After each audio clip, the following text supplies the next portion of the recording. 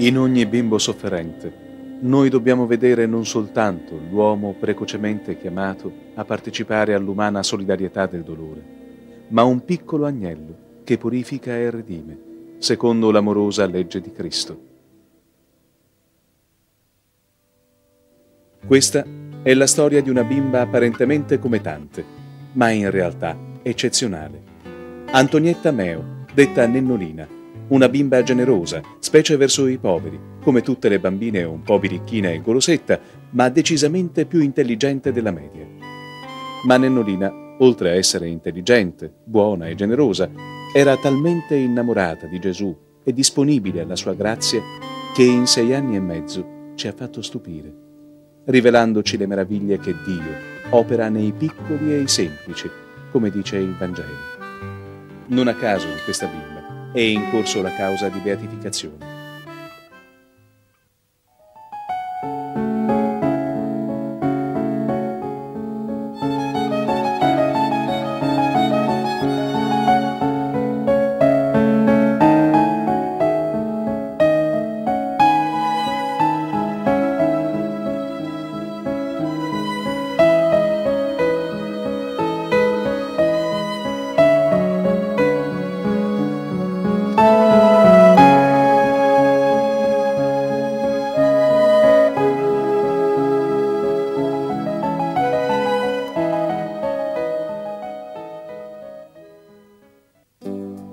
Nata a Roma in un villino di via Statilia il 15 dicembre 1930, Nennolina fu battezzata il 28 dello stesso mese, festa dei Santi Innocenti, nella Basilica della Santa Croce di Gerusalemme, chiesa parrocchiale della famiglia. Mai data e luogo furono più carichi di significato alla luce di quanto successe poi a questa bimba. Il papà Michele, funzionario alla presidenza del Consiglio, era del terz'ordine francescano e la mamma, Maria Ravaglioli, molto impegnata nell'azione cattolica. Famiglia di profondi sentimenti cristiani, era stata già allietata da un'altra figlia, Margherita, ma anche visitata dalla sofferenza per la morte di ben due fratellini. Ora però cominciava un periodo tranquillo e sereno. Antonietta colmava quei vuoti. Scrive la mamma nel diario. Quando portavo Antonietta in chiesa, e accadeva frequentemente, data la sua grande devozione a Gesù nel tabernacolo. La bimba si metteva in ginocchio, tutta raccolta, le manine giunte davanti a Gesù sacramentato. Poi andava qua e là per visitare gli altari. Chiedeva spiegazioni dei santi con infiniti perché. L'altare della Madonna era il preferito. Vi restava in ammirazione. Mi ricordo che una volta era venuto un bambino a bussare alla porta e aveva tanta fame. Più che i soldi voleva mangiare questa creatura. E allora mamma gli diede un piatto di maccheroni. Antonietta lo guardava a occhi aperti. E dopo tre anni, un giorno mamma gli spiegava, durante la malattia, l'ultimo dei tempi, gli parlava del giudizio universale, delle parole di Gesù che diceva Gesù avevo fame e mi avete dato da mangiare. Dice, mamma, tu allora stai tranquilla, perché starai alla destra di Gesù. Dice, perché? Figlia mia. Dice, eh, perché tu hai dato un piatto di pasta tanti anni fa, ti ricordi a quel bambino? Grande anche la sinergia educativa tra genitori, parrocchia e suore di via Sommelier Qui Antonietta frequenta la scuola materna e nel gennaio 1936 viene iscritta come piccolissima nella gioventù femminile di Azione Cattolica e, come ricorda la mamma, con grande fierezza mostrava a tutti il distintivo e la tessera. In questo periodo Nennolina la sera comincia a dettarmi le letterine, che poi mette sotto la statuina di Gesù Bambino. Così, diceva, durante la notte può leggerle. Alla sua morte, il 3 luglio 1937, si conteranno 170 letterine indirizzate a Dio, a Gesù, con vari appellativi allo Spirito Santo, alla Madonnina, all'Angelo Custode e a vari santi. Marzo 1936. Una brutta caduta nel giardino delle suore degenera in un sarcoma osseo. Comincia il calvario di Nennolina e dei suoi cari. Il 25 aprile con un altro, ma questa volta tragico richiamo simbolico, al Calvary Hospital a Roma le viene amputata la gamba sinistra nel tentativo di evitare il peggio. Fin dalla convalescenza, quando la spingono in carrozzella per i viali della clinica o in cappella, la sua meta preferita è proprio il Calvario. E al babbo che le domandava: Senti molto dolore? Antonietta rispondeva: Papà, il dolore è come la stoffa. Più è forte e più ha valore. Un giorno Antonietta soffriva moltissimo, stava molto male, però diceva sempre sto bene, non si lamentava.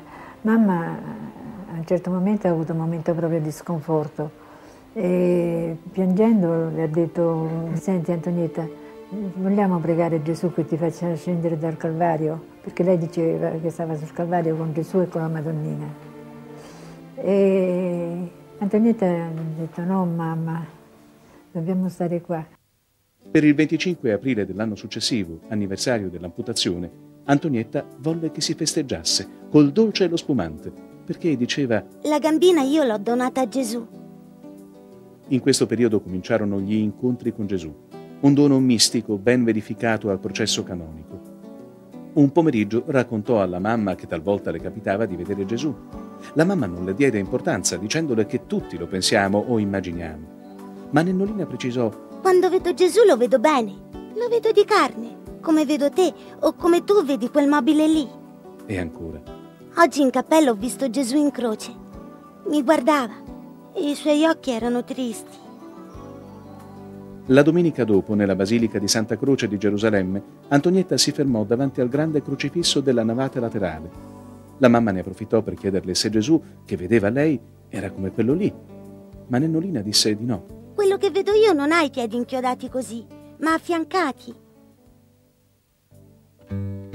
Nell'ottobre 1936 comincia a frequentare la prima classe elementare e, considerando l'incertezza del futuro, nonché la maturità decisamente superiore all'età, le viene concesso di anticipare la prima comunione. Spasmodica si fa la sua attesa di incontrarsi con Gesù. Dal 15 ottobre al 24 dicembre, vigilia della prima comunione, si contano ben 76 letterine. È un incalzante conto alla rovescia. Finalmente, la notte di Natale, Antonietta di Gesù, come aveva cominciato a firmarsi nelle letterine, diventa veramente tutta di Gesù.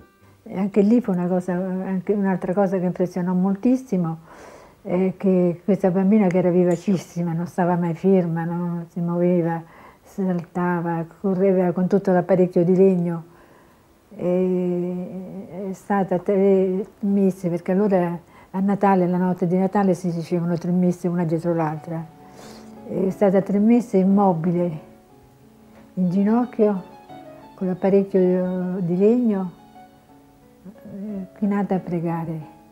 E nessuno si rendeva conto come fosse possibile una cosa del genere. E nei mesi successivi prese la dolce abitudine, quando andava in cappella per la visita a Gesù, di andare a bussare la porticina del tabernacolo. Seguirono giorni tanto belli e pieni di consolazioni ma erano la quiete prima dell'ultima tempesta. L'osteosarcoma avanzava silenzioso ma inesorabile, provocandole vari disturbi. Le fu quindi concesso di anticipare anche la cresima, fissata per il 15 maggio 1937, vigilia di Pentecoste. Quel giorno al suo confessore, Monsignor Dottarelli, fece vedere il piccolo diario che aveva scritto durante la preparazione. Erano 19 fioretti e propositi. Siamo usciti dalle suore, lei mi ha detto anche io sono un soldato di Cristo, che io gli ho detto ma tu sarai in generale che soldato, tu non sei soldato. No, no, dice di generale ce n'è uno solo. Il mattino dopo, domenica di Pentecoste, Antonietta ritornò dalle suore e indossato per la seconda e ultima volta l'abito bianco della prima comunione, si unì ai bambini che in quel giorno facevano la loro prima comunione. Dopo la cresima, l'appetito diminuì ulteriormente Domenica 23 maggio tutta la famiglia si recò a messa nella basilica di Sant'Antonio in via Merulana. Dopo la Santa Comunione tornò a casa con molta fatica, ma non disse nulla. La fronte bruciava. Il termometro segnò quasi 39. La sera del 26 maggio chiese al papà una grazia. Voleva fare la comunione l'indomani, festa del Corpus Domini, ma il papà, imbarazzato, rispose che non si poteva scomodare un sacerdote in quel giorno e la piccola non disse nulla, ma il suo visino si era rattristato. provvidenza volle che padre Bernardino, saputo che Nennolina era malata, le portò la comunione a casa. La gioia della bimba fu immensa, perché Gesù era venuto a casa della sua Antonietta. Il 28 maggio peggiorò ulteriormente. Una tosse secca, lacerante, sempre più forte, la tormentava giorno e notte. Si parlò di pleurite e di enfisema. La piccola soffriva tanto, ma non si lamentava. Parlava poco, ma ascoltava volentieri, specialmente quando nei momenti di calma le parlavano di Gesù. Diceva a stento le sue preghierine e offriva tutto al suo Gesù. Poi, dopo si è aggravata sempre di più, il medico di casa ha voluto un consulto, è venuto questo professore Milani, mi ricordo si chiamava, era visitata, gli ha detto dicevano, che stava, gli si era riprodotto sto male ai polmoni.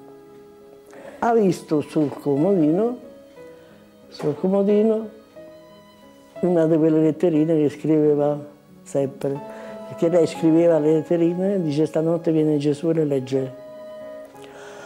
Ha visto la letta, questa letterina, dice senti Antonietta, e, e questo professore era professore del Papa. Dice, ma dai, che io proprio stamattina devo andare, da, devo andare dal Santo Padre. Dice, sì, sì, la prendo pure. La mattina dopo, io stavo sul terrazzo, vedo fermare una macchina lì sotto. Era una macchina, de, una macchina del Vaticano, perché quella volta le macchine non si vedevano. Eh. E mi dà una busta. Questa è casa Giuseppe mio. Io sì, dice, devo consegnare questa busta. E io si accomodi, no, no, dice devo solo consegnare la busta. Beh, dentro la busta c'era la benedizione del Papa, oh, questa letterina che ha restituita, poi con un'altra busta dentro eh, c'è stava un bigliettino del professore dicendo che restituiva il suo onorario alla piccola Antonietta che ne faccia quello che vuole con i soldi della visita. Allora la mamma dice, vedi, il professore le ha restituito i soldi della visita, guarda. Dice adesso quando starai meglio, usciamo, questi sono tuoi, tu ci compri quello che vuoi tu. Eh? Gli ha detto, mm, senti mamma, portili ai bambini poveri. Intanto il male avanzava e ricoverata di nuovo al Calvary Hospital il 24 giugno 1937 cominciò l'ultima tappa di questa via Crucis, resezione di tre costole per metastasi del sarcoma e altri tormenti. Ma Nennolina sopporta tutto con incredibile forza, sostenuta dalla certezza di fede, ma anche dalle ineffabili, mistiche visite di Gesù. Infatti, quando venerdì 2 luglio 1937 la mamma le chiese da quanto tempo non vedesse Gesù, rispose, l'ultima volta è stata questa mattina, quando ho fatto la comunione e quella fu la sua ultima comunione. Io che stavo lì vicino, c'ho ancora che si è girata verso me, quell'occhioni scolpiti ce l'ho lì. E adesso che fai la comunione, Antonietta, dico preghi anche per me. Allora si è girata un pochetto e mi ha detto sì Caterina, pregherò sempre per te. E si è ricomposta. Entrano il padre e la madre in quell'istante, si mettono uno di qua di là del letto, l'ha visti, si è girata ha detto mamma, papà, si è riadagiata su cuscini, guardando in alto, Dio fece e ha aspirato. L'ultimo respiro è stato quello. Ora riposa nella cappellina vicino alle reliquie della Santa Croce che Santa Elena, madre dell'imperatore Costantino, ha portato da Gerusalemme. Meta di continui pellegrinaggi, Nennolina insegna a tutti come l'amore superi il dolore. Quando ci rechiamo in quella cappellina e nel silenzio, ci sembra di capire quella ineffabile, struggente, piccola, grande via.